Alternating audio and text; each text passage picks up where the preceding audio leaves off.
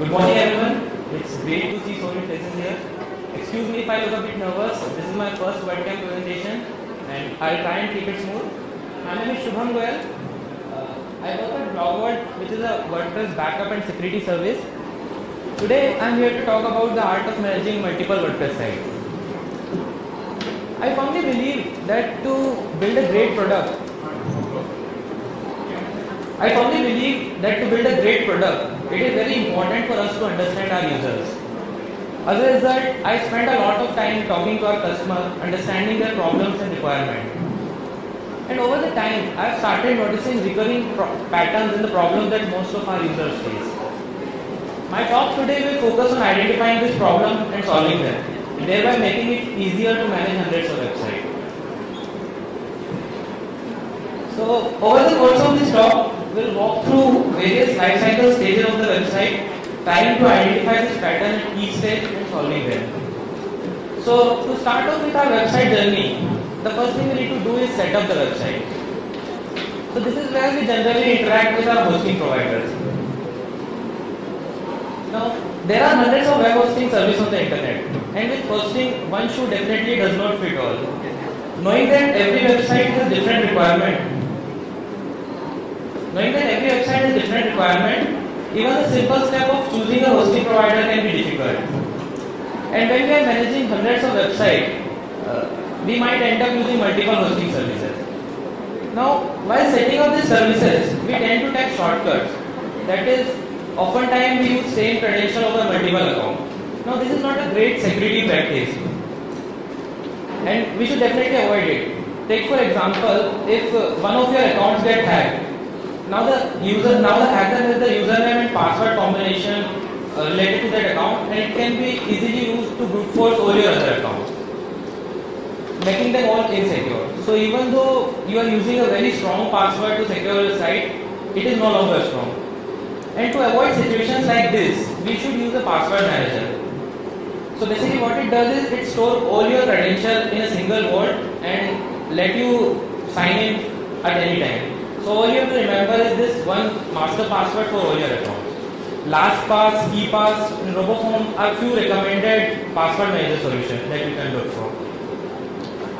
Another issue which I have noticed with hosting is that sometimes we end up using shared hosting services. Now, shared hosting services by its very nature tends to be insecure and unreliable. That is, oftentimes someone else's mistake on a shared hosting server can be expensive to us. Say for example, if a website gets hacked on a shared hosting server, it will automatically put all the other websites which are sharing resources with this website in danger. And and cleaning up the website are even worthless in such cases because the actual vulnerability might still be present on the server and which can lead to quick reinfection. Now think of this problem in terms of hundreds of websites and it will automatically expand exponentially. So to overcome this situation, I would suggest you to avoid shared hosting altogether or at least be aware of the consequences you might face because of it. Now, once you have set up the website, over the course of its life, I have noticed that the website tends to move from one location to another. Now, this could be because we might be following practices to have a separate development environment, production environment, and a staging environment. And based on the requirement, we keep on switching between this, those environments. Also, sometimes uh, based on the business requirement, we might have to switch the hosting provider of the live website. And when we are dealing with hundreds of websites, moving a site from one place to another keeps on happening on a monthly basis, if not daily. So at this point, we should ensure that we are using a robust migration plugin, which helps us move the site easily. Some of the hosting providers have, got, have their own migration tool, and you can definitely offer them. Or you can have a universal migration plugin, which helps you migrate easily without even considering the host. So Migrate Guru and uh, all-in-one WP migration are two recommended solutions for the same. Now, when we are managing hundreds of sites, we might have contributors and collaborators working on different section of the website. So, some might be handling the maintenance work for us, some might be updating the content of the website, while some might be actively developing the website. And when we are doing so many things, human error tends to occur. That is, someone might accidentally delete some post on the live website, or say the update we were trying to perform crashed the website. And all of this action unintentionally lead to some kind of data loss. And solving these problems for users on a day-to-day basis, I cannot recommend you enough to have a good backup and restoration solution. WordPress Codex is a detailed instruction on how to perform a manual backup and you can automate these steps to perform backup for all your website on a regular basis. Or if it is not feasible for you, there are many free and paid backup plugins and you can definitely opt for any of them based on your requirements. The most important thing to understand with backup is that uh, backup is a resource intensive task and running a back backup during a heavy traffic time or say scheduling a backup for multiple websites which are sharing the server resources can eat up a lot of your resource and may slow things down. So at this point we have to ensure that uh, we are following a great, uh, we are following a good design for backup. That, that is, we should have a good backup strategy. So we should have a good backup strategy. Now this includes when to schedule the backup or uh, when do we expect the least traffic, do we need to perform backup on a day-to-day basis and so on. And since this is a one-time thing, we can design a backup strategy for all our website and let our backup solution handle the rest for us. Now, another pattern which tends to occur a lot, which I guess everyone is familiar about, is websites getting hacked. Now, getting hacked is expensive. It is expensive not only money wise but also reputation wise. Because a hacked website can cause frustration and doubt among our loyal clients, due to which they might lose their trust and eventually take their business as well. So at this point we have to ensure that we are following the best security practices and basically we never get hacked.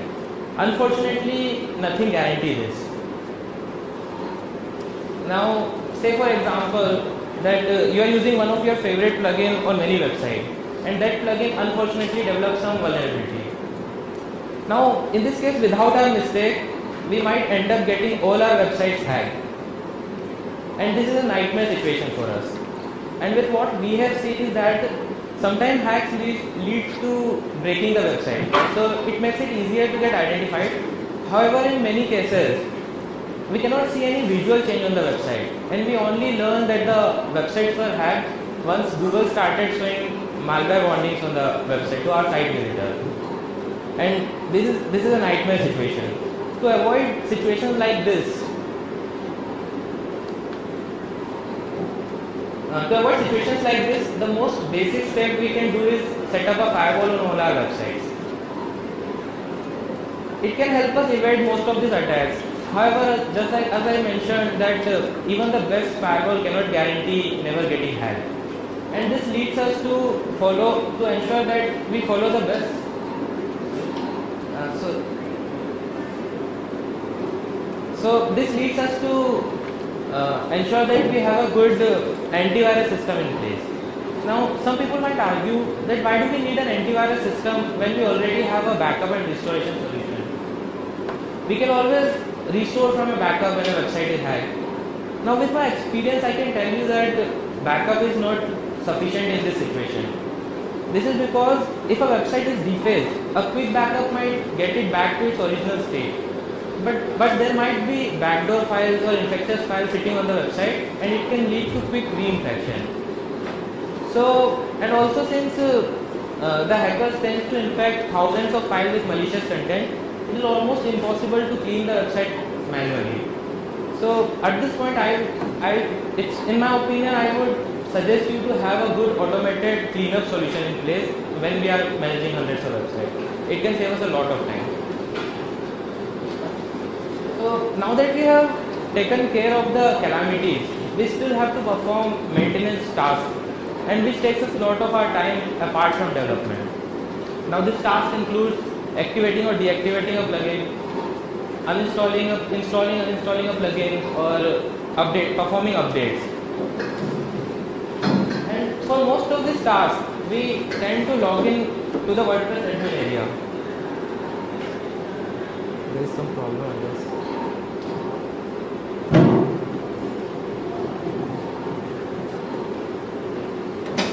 Okay, so for most of the tasks, we tend to log into the WordPress admin area. Now, when we are managing hundreds of websites, logging in again and again can be really cumbersome. So, and this uh, leads us to follow the bad practices of using same credential over multiple websites. And to avoid this situation, we can have a one-click admin login system in place. So what it does is it lists all our websites at a single place and we can log into the WordPress admin area without even entering the credentials. Now, though we have a quick admin access tool, is it good enough to manage plugins and themes across hundreds of websites? Uh, I don't think so. And to ease our pain in this situation, WordPress has an automatic update feature. So by default, WordPress can update itself in case of minor security patches or some small releases. But we can extend this functionality for plugin, theme, and even major core releases.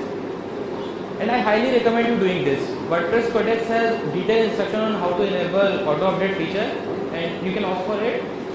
However, you should be aware that uh, when we are performing updates, sometimes plugins and theme might break the website. So you might want to limit this functionality to only core updates. But this leads us back to our original problem of uh, how do we manage plugins and themes across hundreds of websites.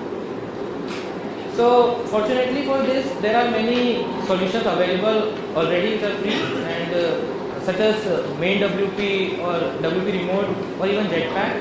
So uh, what it does is it helps you manage plugins and themes update for all the websites from a single place and you should definitely offer them. It, it can save a lot of time.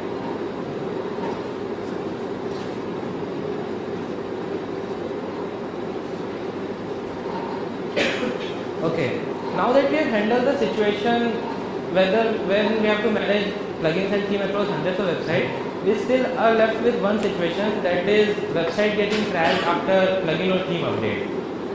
Now I like to categorize this crash into two types. One is soft crash and other is hard crash. Now soft crash are generally harder to deal with. This is because in case of soft crash, the website won't throw an error, but it would still be broken visually. So say for example there can be a white screen of death or a header of the website would be broken or something similar to this.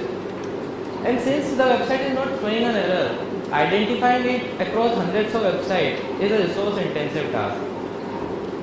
And to handle this situation, we can have a visual monitoring system in place, uh, which basically does is that uh, it ensures that our website is pixel perfect post any update action or install action.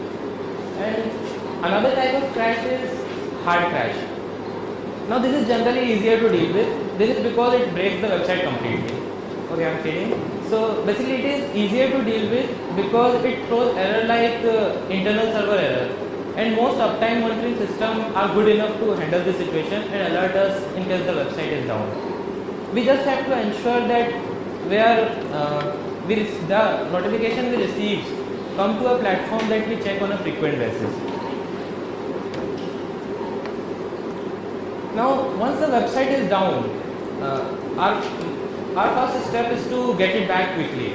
And for most of this situation, a backup restore is an ideal solution.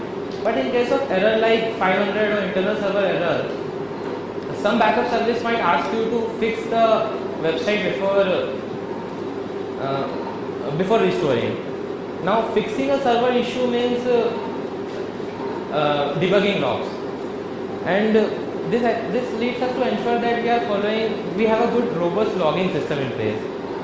Oftentimes, hosting providers don't provide this full set of logs, or even if they do, they do it with limited interface. And also, you might have uh, enabled debug logs on your website. This method of logging error doesn't provide a great method to monitor log our multiple websites. So we should ensure that we have a log analyzer tool in place. which basically helps us monitor all the logs from a single dashboard and it would be great if it can highlight important logs for us. Now, once, uh, once we have recovered the website, the next step should be to identify the root cause of the error. Now, as I mentioned before, when we are managing hundreds of websites, we might have team members or collaborators working uh, working on a website and at the.